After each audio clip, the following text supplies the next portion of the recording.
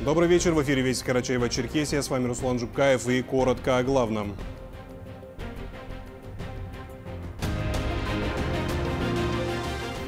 Посадить дерево – это значит оставить свой след на земле. 36 саженцев голубых елей станут настоящим украшением парка около Покровской церкви. Кредитные каникулы. Что это такое и как они работают? На все вопросы отвечает руководитель Национального банка республики. Язык и легенды земли родной под таким названием в Черкеске проходит выставка, приуроченная 65-летию возвращения карачаевцев на историческую родину. Карачаево-Черкесии наградили победителей и призеров регионального этапа всероссийского конкурса без срока давности.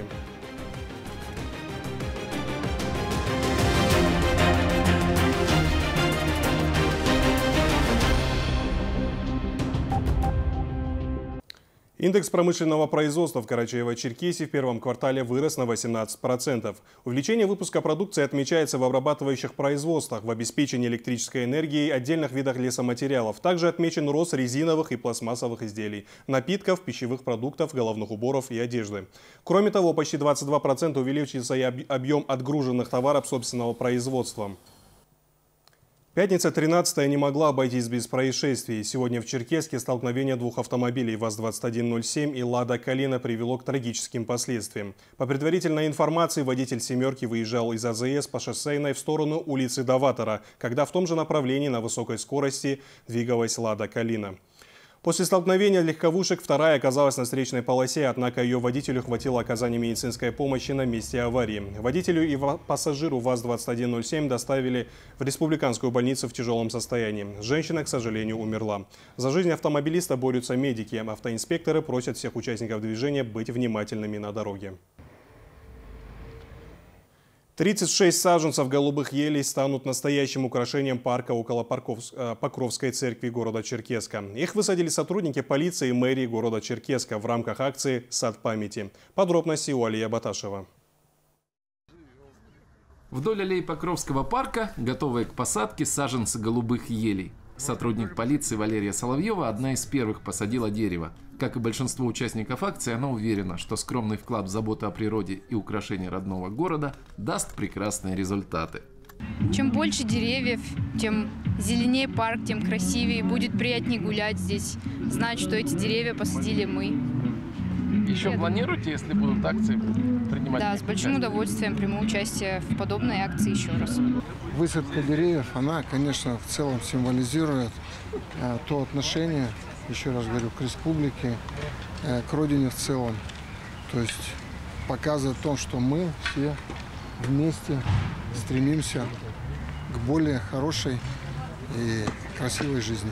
Акция «Сад памяти» в Карачаево-Черкесии приобретает все больше сторонников, говорят организаторы акции. Изначальный посыл был э, импульс, так сказать, от э, меня и моей организации. И вот подключилась МВД, значит, несколько посадок деревьев с ними уже осуществили в парке РТИ, на улице космонавтов. Э, и вот это одна из следующих акций, и она такая вот самая масштабная, скажем так. Достаточно много, 36 елок. Инициативная группа во главе с Сергеем Стрельниковым обратилась к нам чтобы мы им присмотрели такое более-менее такое красивое место. Мы проехались по паркам и решили, что в Покровском парке нет елок и решили, что в Покровском парке будут елки у нас теперь расти. Саженцы прекрасно адаптированы к местным природным условиям. Семена взяты из шишек голубых елей, которые росли у мэрии республиканской столицы. Деревья будут высокими и красивыми, уверены организаторы акции. Али Баташев, Ислам Уромов, Вести Карачаева, Черкесия. В марте вновь заработали кредитные каникулы. Они позволят гражданам и бизнесу уменьшить или перенести платежи по кредиту на срок до 6 месяцев. Кто может воспользоваться этим правом и что нужно, чтобы подтвердить непростые обстоятельства заемщика, расскажет Альбина Ламкова. Заемщики могут воспользоваться кредитными каникулами, если их доход упал чем на 30% по сравнению с их среднемесячным доходом в 2021 году, и они могут подтвердить это документально. При этом будут учитываться все виды кредитов и займов. Главное, чтобы они были выданы до 1 марта 2022 года. Если у гражданина несколько кредитов, то можно запросить отсрочку по каждому из них, но только один раз. Пени штрафы за время кредитных каникул начисляться не будут, в отличие от процентов по кредиту. И когда закончится отсрочка, график выплат увеличится в пределах использованного периода каникул. Если заемщик захочет выйти из каникул раньше, то сделать это можно будет, уведомив заранее кредитора. Оформить кредитные каникулы можно будет до 30 сентября текущего года. Необходимо представить заявление и документ, подтверждающий факт снижения дохода например, справку от работодателя, либо документ о признании безработным. Для индивидуальных предпринимателей, либо представителей малого и среднего бизнеса динамика дохода не имеет никакого значения. Здесь определяющим является код ОКВЭД. Важно, чтобы он соответствовал перечню отраслей, требующих поддержки. Для граждан а, правительством установлен лимит. Для потребительских кредитов это 300 тысяч рублей. Индивидуальные предприниматели могут получить 350, а для ипотеки возможна сумма 3 миллиона рублей. Для автокредитов 700 тысяч рублей. Предусмотрена сумма и для кредитных карт 100 тысяч. Если гражданин ранее пользовался правом на получение отсрочки по кредиту, например, в период пандемии, он может воспользоваться им и сейчас – Самое главное, чтобы заемщик четко подпадал под критерии закона. Документы, представленные э, кредитору, должны быть рассмотрены в соответствии с законом не позднее пяти рабочих дней. Альбина Ламкова, Роберт Джигутанов, Вести, Карачаева, Черкесия. Сейчас время прогноза погоды, а после мы продолжим выпуск. Не переключайтесь.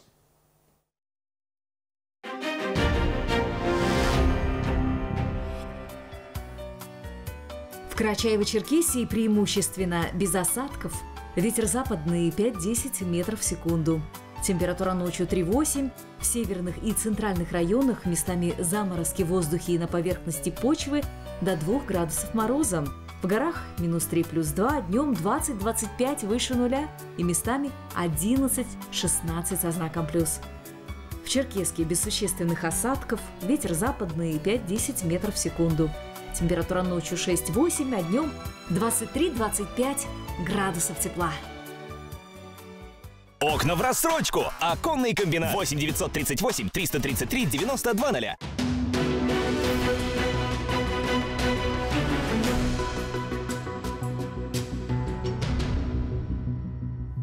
В Карачаево-Черкесии ведется капитальный ремонт 23 школ. В настоящее время уже во всех учебных заведениях практически завершились демонтажные работы. Ведутся отделочные, начата замена инженерных сетей. В зданиях будут заменены окна, полы и двери, а системы отопления, вентиляции, канализации, водоснабжения и пожаротушения будут обновлены. Помимо этого пройдут работы по благоустройству школьных территорий. Сами же школы будут оснащены мебелью и оборудованием, а учебный фонд пополнится учебниками и пособиями. Язык и легенды земли родной. В галерее Республиканского музея проходит выставка, приуроченная 65-летию возвращения карачаевцев на историческую родину. В экспозиции представлены этнические костюмы и живописные работы карачаевских художников. На выставке побывала Шерифат Лепшокова. Долгих 14 лет люди ждали возвращения на историческую родину, и этот радостный день настал.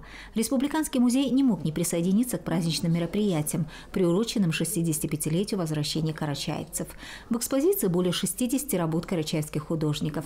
Именно Французова, Маршанкулова, Гачьяева, Коканаева, Гугуева, Батчаевой хорошо известны любителям живописи. В их работах жизнь и судьба народа, с его радостями и горестями. И все это на фоне щемящих видов природы, естественного помощника в труде. В Средней Азии сразу появилось чувство, что и жизни нет без родной реки, прибрежных камней и гор.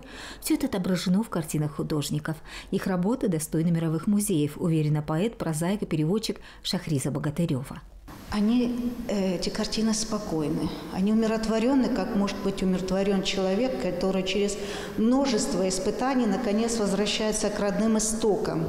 И он наслаждается тем, что он снова на родине. Картин Зульфии Бачаевой также известна многим любителям искусства. Одна из ее давних работ посвящена теме возвращения. Вдохновленная историей народа, художница символично изобразила этот период. На переднем плане стоит горец, в его руках меч. Но это не меч э, агрессии, это как раз меч там, защиты. А, это олицетворяет то, что он хочет защитить, за, защитить, и чтобы в следующий раз такого не происходило с нашим народом. Особое место в галерее отдано работам одного из ведущих художников-модельеров республики Зарима Аджиевой. Этнические карачаевские платья выполнены ее руками и руками помощниц. Казалось, это должны были быть лишь стилизованные свадебные платья, но нет. Каждом из ее работ можно прочитать карачаевский код. Связь времен не просто слова для мастера. В ее платьях история и культура народа. Сохранен старинный орнамент, покрой также не изменен. Платья магическим образом притягивают внимание. Секрет в неуловимом мастерстве, когда стежок к стежку, безупречна каждая деталь. А началось все серебряного пояса, рассказывает Зарима Аджиева. Ни одно поколение кемар хранится в семье мастерицы, бережно передаваясь по женской линии. Его сохранили в тяжелые годы депортации. Чтобы выживать, люди выменивали на еду последнее, но семейная реликвия осталась неприкосновенной.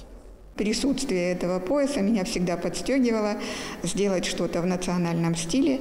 Не всегда эти платья были востребованы, а, но тем не менее элементы национальной одежды где-то мы всегда использовали этот пояс, всегда хотели надеть, где-то показать его а, и гордились тем, что он у нас есть. В горах всегда ценился труд мастерицы золотошвейки, а сукно, изготовленное руками карачаевских женщин, считалось одним из лучших на Кавказе, рассказывает Зарима Аджиева.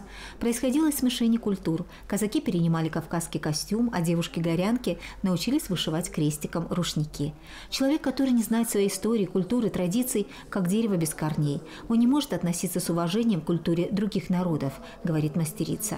Выставка продлится до 30 мая. Все желающие смогут прикоснуться к самобытной культуре карачаевцев, по достоинству оценив работы мастеров кисти и ткани. Шерифат Лепшукова, Мухаммед Ашибоков, Вести Карачаева-Черкесия. В Центре военно-патриотического воспитания молодежи наградили победителей и призеров регионального этапа Всероссийского конкурса сочинений без срока давности и республиканского «Моя республика в судьбе моей семьи». О торжественном патриотическом мероприятии расскажет Альбина Ламкова. Людей прекрасных много в нашем крае. Республика вскормила их добром. Народа лучше я пока не знаю. Они Кавказом называют отчий дом. Сочинение о родине, написанное семиклассницей Елизаветой Богатченко, привлекло внимание всех гостей. Она из станицы Приградной Урубского района. Елизавета совсем еще юная, но в своих строках глубоко отразила любовь, нежность и чувство патриотизма к своей родине – Карчаево-Черкесии. В проникновенном сочинении автор постаралась показать красоту природы и свое отношение к ней. Каждый из победителей и призеров регионального этапа Всероссийского конкурса сочинений без давности и республиканского конкурса сочинений «Моя республика в судьбе моей семьи», рассказывая в своей работе о подвиге, тяготах и испытаниях в годы Великой Отечественной войны, сам переживает те страшные дни в истории страны. Такие э, конкурсы помогают людям понять, что такое патриотизм, э, э, учат нас э, ценить и любить Родину, ценить минуты и дни, проведенные рядом с близкими, ценить воспоминания и память о тех, кто не смог вернуться к своим очагам, о тех, кто отдал своей жизни ради того, чтобы мы сейчас находились в этом зале. Сочинение было непростое. А, оно, во-первых, длинное и, ну и все, оно тяжелое. Как и морально, так и физически воспринимается тяжело. Это, можно сказать, очень болезненная и трогательная тема, которую мы не должны забывать и э, должны помнить об этом всегда. Министр образования и науки Карачаева-Черкесии Инна Кравченко поблагодарила всех участников конкурса сочинений за их стремление и желание знать историю своей страны, малой родины и семьи, а также желание донести до своих современников и будущих поколений эту историю. Порядка более трех тысяч учащихся нашей республики, начиная с общешкольного уровня, приняли участие в данном конкурсе. И только немногие ребята дошли до республиканского этапа. На республиканском этапе конкурса сочинений без срока давности были представлены 48 ваших работ. Каждая работа заслуживает внимания и уважения. После завершения торжественной части награждения ребят пригласили на экскурсию в музей Центра военно-патриотического воспитания молодежи. Альбина Ламкова, Али Бастанов, Вести, Карачаево-Черкесия. Это все вести. Прямо сейчас смотрите вечер с Владимиром Соловьевым. Всего вам доброго и хороших выходных.